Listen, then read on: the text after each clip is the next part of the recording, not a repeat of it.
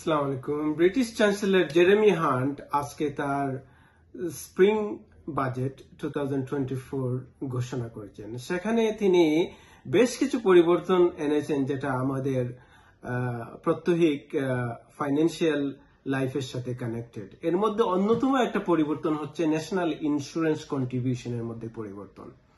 বর্তমানে আমরা যারা এমপ্লয়িড আমরা টেন পার্সেন্ট করে ন্যাশনাল ইন্স্যুরেন্স কন্ট্রিবিউশন করে থাকি, সেটাকে কমিয়ে তিনি এইট পার্সেন্টে নিয়ে এসেছেন। একই সাথে যারা আমরা সেলফ এমপ্লয়িড তাদের ন্যাশনাল ইন্স্যুরেন্স কন্ট্রিবিউশন ছিল এইট পার্সেন্ট সেটাকে কমিয়ে সিক্স পার্সেন্টে নিয়ে আসা হচ্ছে, যেটা এপ্রিল থেকে কার্যকর হবে। আরেকটি গুরুত্বপূর্ণ আপডেট হচ্ছে চাইল্ড বেনিফিটের ক্ষেত্রে।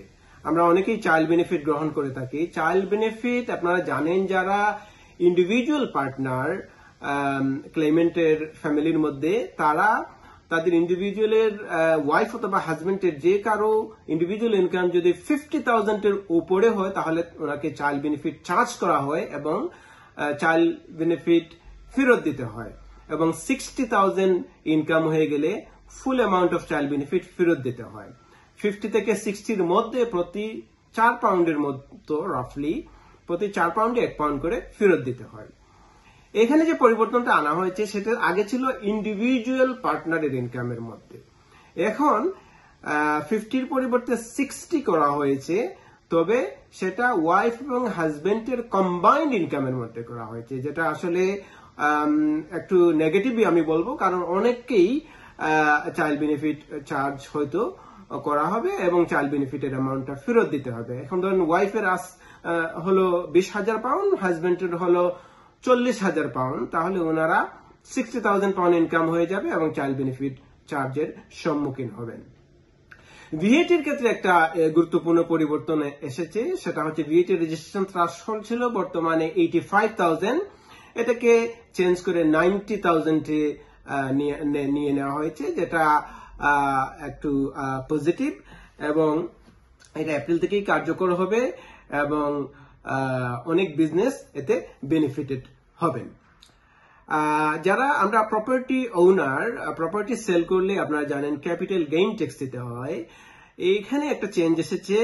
ক্যাপিটাল গেইন ট্যাক্স যারা হায়ার ট্যাক্স পেয়ার তাদের ক্ষেত্রে টোয়েন্টি এইট পার্সেন্ট রেসিডেন্সিয়াল প্রপার্টিতে টোয়েন্টি এইট পার্সেন্ট দিতে হতো। সেটাকে কমিয়ে টোয়েন্টি ফোর পার্সেন্টে নিয়ে নেওয়া হয়েছে।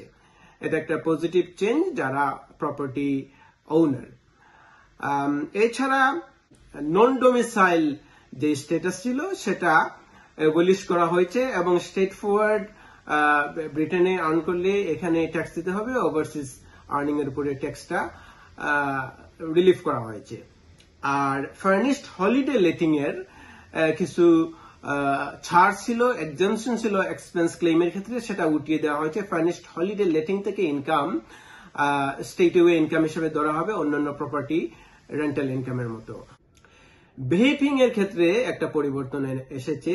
অক্টোবর টোয়েন্টি টোয়েন্টি সিক্স থেকে ভেপিং প্রোডাক্ট এবং ইনপুটের উপর চার্জ বসানো হবে। তাছাড়া ফিউল ডিউটি যেটা ফাইভ পার্সেন্ট কাট করা হয়েছিল টোয়েন্টি টু থেকে, সেই কাটটা শেষ হয়ে আসছিল, সেটাকে এক্সটেন্ড করা হয়েছে এবং আর কোনো ফিউল ডিউটি ইম্পোজ করা হয় নাই ইনক্রিজটাকে ফ্রিজ করা হয়েছে।